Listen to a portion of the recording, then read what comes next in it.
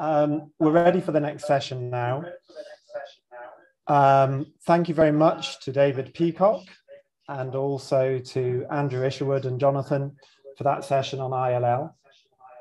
We're now really delighted to be joined by Helen Bingham and Emily uh, Johnson from uh, Hem uh, Helen from HEE, Health Education England, and Emily from uh, Birmingham uh, NHS Trust. And we're going to be doing a little bit of a panel Q&A session with them over the next half an hour. I'm joined by Janet uh, at the podium. And uh, I'm going to start by talking to Helen about the, the wider HEE project um, to merge systems across NHS England.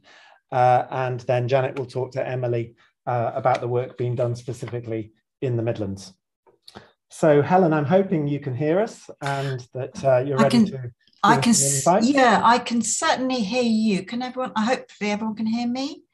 Oh, I'm getting some nods. Great, thank you. Great. Okay, so um, Health Education England, uh, as we understand it, have been working with health libraries across England to implement unified systems, including the e-resources discovery and library management systems where did the project start and what are its aims and its vision? Okay, well, it started with our realization, based on an audit of library systems in the NHS in England, that not only did we have over 90 separate library management system instances, but also rapidly and exponentially being layered on top of that was uh, lots and lots and lots of local discovery service implementations. And uh, so, what what was already a very uh, fragmented infrastructure was being was being layered on with even more separate systems and the result of this was that our users so the nhs staff and trainees and, and students who use library services and we want to access these resources were having a very variable inconsistent experience as they as they move from organisation to organisation, which many people in the NHS do, whether that, that's on placement or with their, their work and their careers, they move around. Uh, so we needed to get a grip of that growing fragmentation. And uh, so we had a vision, easy to say, there being one place to search for, for NHS staff, trainees and students to search for trusted information. So that's trusted NHS funded and NHS created knowledge and evidence resources and high quality open source resources. And we wanted it be, to be one place to search, regardless of whether they were searching for education or research or management decision making or indeed patient care. And whether they were looking for for online resources or print resources, or they didn't know when they started searching. So that was that was the um, that was that's the vision. So that's how, how far have you got with the uh, with the project?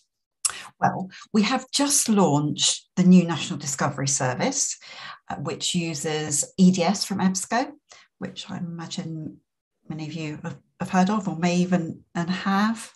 And we are currently re-procuring and up updating shared regional library management systems where we already had those. So I said we had over 90, um, but um, we did some of those were already regionally shared systems, but we needed to sort of re-procure up, upgrade those with a view to implement integrating them, sorry, with the national discovery layer.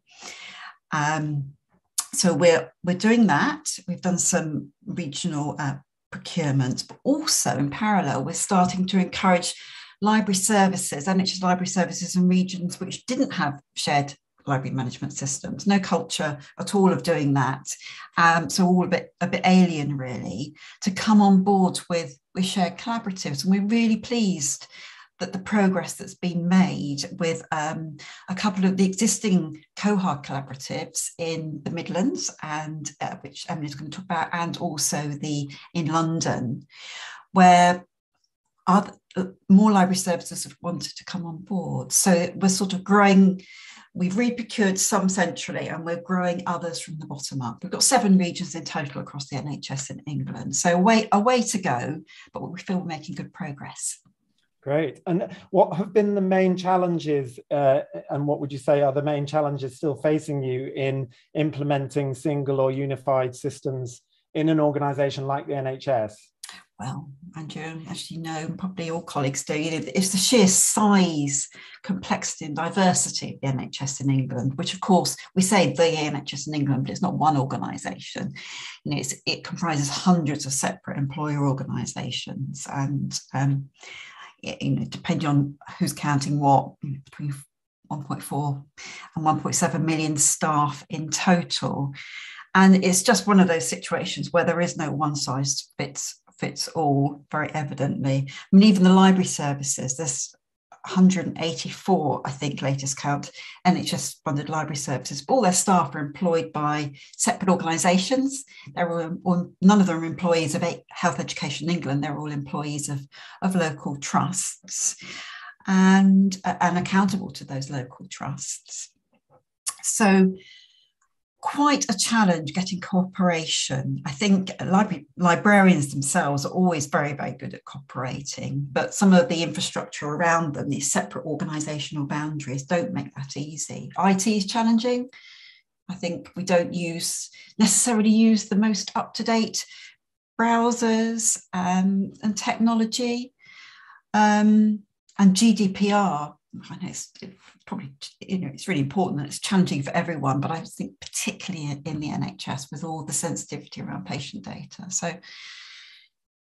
it, it uh, hopefully quite a few challenges. Quite a few challenges. I mean, with, with all those challenges though, Helen, there must be some some benefits that you see to come out of this. So what, what would you say are the main benefits that you're looking for out of this? Well, you won't be surprised to hear me saying that really ultimately it's about improving patient care. And that's what we're all in the business of doing in the nhs we want it to contribute to improving patient care by making it much quicker and easier for, for staff and, and trainees to be able to access the knowledge and evidence resources they need to do their jobs. Uh, so improve patient care improve value for money. So all the aforementioned uh, separate systems, um, all needing to be separately uh, maintained at the moment. We want to duplicate that spend through reducing the number of systems we want to maintain. And we want to make sure the resources that we buy in the NHS are better used because they're more easily discoverable and they can be more easily shared. So they're not hidden in separate catalogues in local library services um, and sitting on shelves, but actually they work harder for us. Great. I mean, and, and sorry, and sorry, and I suppose the other thing is with time releasing savings for some of the library library staff. That's what we want to achieve through this, really, because all those systems require maintenance, and library, local library teams in the NHS are typically very small.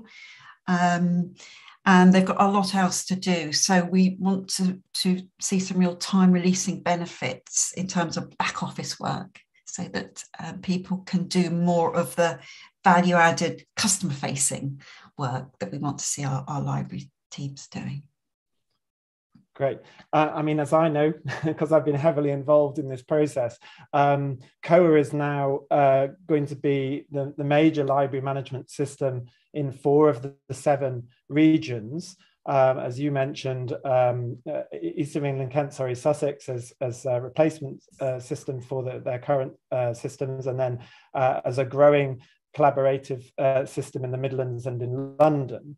Um, what, why, why do you think Koha has been the system of choice uh, in those four regions? That's a good, that's a good, that's a good question. I mean, I think one of the things is because it's open source software, and as others are probably aware, that ticks. You know, that's a big tick in, in terms of government digital services um, and, and for invest and, and recommendations guidelines for investment in IT. So that's definitely a big, a big tick. I think what we found is that, and this probably, you know, it means more than anything really, is that the library staff who are using Koha like it and they tell others that they do. Um, um, and they like it because I suppose, because it's flexible and intuitive and oh, and reporting. I think is something that um, people tell me, I have to say that it's a long, long time since I've worked in a proper library myself, but tell me that that's really good. Um, I see the outputs. Um, but yeah, that's really excellent with Koha. So they like that, and I think um, uh, I think uh, I, you know think you've done pretty well in the procurement tender exercises, which I know are pain, painful processes to go through. Everyone's probably been through those as well. But oh, we love um, them. Huh, you know, all the paperwork we make you do.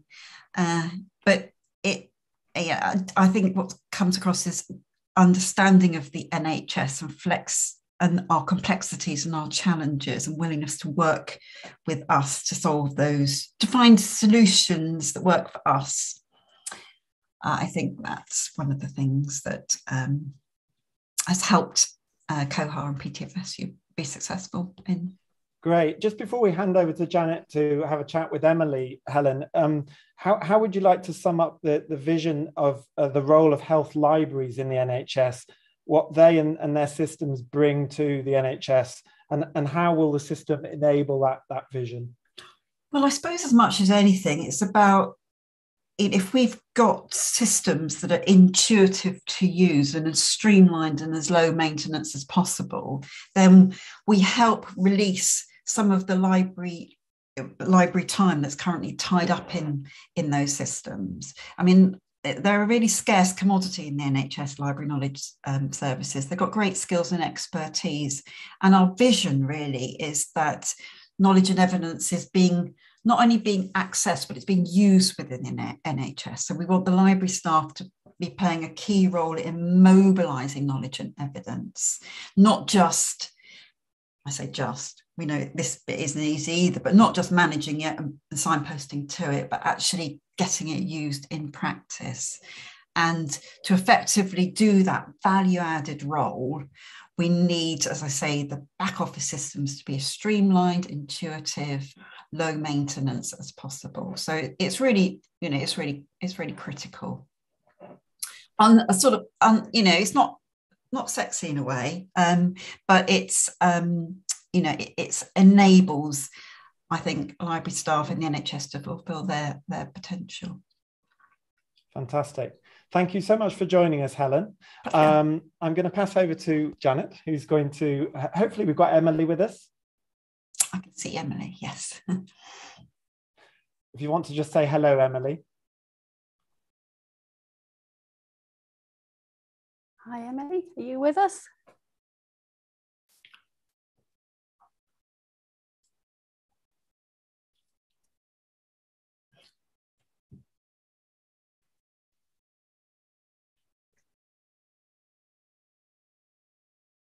Any sign of Emily? It's hunting for the mute button. yes. or unmute. It looks like just her mic's not working. She has. She looks like she's talking, but nobody's hearing her. Oh. can you hear me now? Does that? We can. Oh, yeah, fabulous. Yeah. great, great to hear you. I'm going to hand over, as I say, to Janet, who's going to have a chat with Emily. Hi, Emily. Oh, there you are. Brilliant. Lovely to see you. Excellent. Hi. So, uh, really glad for you to join us today. Um, so, we're going to, you and me are going to have a chat about the um, library management system merger for the Midlands. Um, and this is quite interesting for, for, for, me as well, because back in 2012, I was the original project manager for the what's currently the BASE consortia. I know that you as a Koha user, um, you've been using Koha as part of working for BASE. So this role, you're now the project manager for um, this merger project. So it's a new one for you. Um, how, how are you settling in? Uh, yeah, so um, I'm two months in now, and I think it's going well so far. Um, because it's like a merger of libraries, and um, there's a lot of work in sort of aligning policies and procedures and terms and conditions and the rules on Koha. Um, so most of the big decisions have been made. It's just ironing out the finer details and um, before the data starts to be moved uh, for the first phase of the project. Um, but it's handy that I've worked with Koha before because it means I've got like an understanding of what's possible within the system and its functionality. So. That's that's great. Yeah, I mean, we're we're really looking forward to um, bringing the this Midlands merger libraries project um, together into one system. Um, and so, could you outline um, the plan of which libraries are coming on board, when they're we're planning to get them on board, and give us an idea of the timescales over the next uh, uh, 12 months or so? Sure, yeah. Um, so we're going to take a phased approach to the project um, because there's so many trusts involved. Um, there's currently 26 trusts involved and some of them are at different stages and using different systems. So some currently use Koha and some don't. Um, so the first phase is phase 1A and that's BASE, um, which is most the um, NHS libraries in Birmingham and the Black Country um, and Coventry and Warwickshire. And uh, we aim to complete that by March 2022. So um, it's quite soon, really. and then see, these two libraries had kind of planned to merge before the involvement of HEE. So uh, that's why sort of they're first, because they want to move sort of the quickest. Um, and then next we're going to do the rest of the Koha libraries um, within the Midlands region. Um, so that's phase 1B and it includes um, Worcester and Hereford, Kettering and Northampton and they're set to merge in around July 2022. And then the next phase is um, non-Koha libraries, and that's Mid Cheshire, Nottinghamshire, and Shropshire. And um, they all use different LMSs, so there's more work involved with moving the data um, and the migration phase. Um, so the aim is to have that done by August 2022. Um, and then we've had some new libraries come along more recently um, and join the project a little bit later. So they're going to be phase three, and that's um, Nottingham University, which is also non-Koha. Um, so yeah, that's why they're joining a bit later. And then Midlands Partnership hope to join in a phase four, maybe a year later. It depends on sort of contracts and things like that. Wow, that's great. There's a lot going on, and we'll be with you every step of the way for sure. Um, and I mean, you say there's quite a lot of work to do and it's quite soon that initial March date. But I know that in the background for some time now, um, you've been there's been a lot of preparatory work going on with the different libraries and the different trusts. So not just the initial phase one, but some of the other libraries too. Um, could you tell us some more about the working groups that have been set up um, and and sort of what some of the challenges they've been facing, what they've been discussing, and so on? Mm-hmm. Yeah, um, so because most of the libraries involved emerging, you know, from different services and they use different LMSs, we set up some working groups to sort of set out a core terms and conditions and rules for the LMS. And um, so we've got four main working groups. We've got a circulation group, a cataloguing group, an OPAC group, and a reports group. Um, and we've comprised those of experts in those different fields from the different services. Um, and they meet probably once a month um, to go through sort of um, what needs to be agreed. Um, and then um, they discuss, and then the, the, recommendations from those working groups go to the project board um, to get agreement um, and ratification on decisions there. Um, I'd say the circulation group is perhaps the most challenging of all because they have to agree on sort of the main rules and, and make compromises. And so, for example, number of loans was quite a tricky one for us because some libraries are quite small and only want to give out six loans, whereas others want to give out a lot, like they have 20 that they they give out. So it's been quite hard to find compromise because obviously we want sort of a single system that um, uses the same rules across the board. So that's sort of been the biggest challenge of the project, sort of getting the compromise. But we're sort of getting there now. We've, we've got an agreed set of rules. So yeah, wow. we can kind of move forward. So it's great. That's really good. It sounds like, well, there have been some really interesting discussions around um, ways to share policies, which policies to adopt. I've joined you and some of um, quite a few of the working groups and some of my colleagues have as well um, to give some of our input as well. Um, so um, have you have you found the libraries generally happy to, for the collaboration and um, how, how, has that been going well? Um, on the whole, yes. Um, so we're aiming to look for sort of best practice and whatever sort of will be the most beneficial for the end user. Um, however, as I said before, it can be difficult to reach a point of consensus. And I think sometimes libraries can be slightly reluctant to change and want to sort of keep the rules that they've had before. Yeah. Um, uh, but, you know, we are sort of coming around to creating a shared set of yeah. agreed decisions and um, like for example length of loan you can go around in circles but we're starting to get there now people are coming on to the idea of change and sort of the benefits for the end user which is That's sort of the most important thing yeah brilliant that's really good um, so um, we look forward to working with you, carrying through with the project. Um, we're hoping for a, a, configuration workshop, sort of January, we're looking towards, I think, now. Uh, and th that's when we're going to sort of pull together the initial phase one and sort of start matching the policies together. And, uh, and uh, it's great news, really good to, to be working on the project with you. Yeah,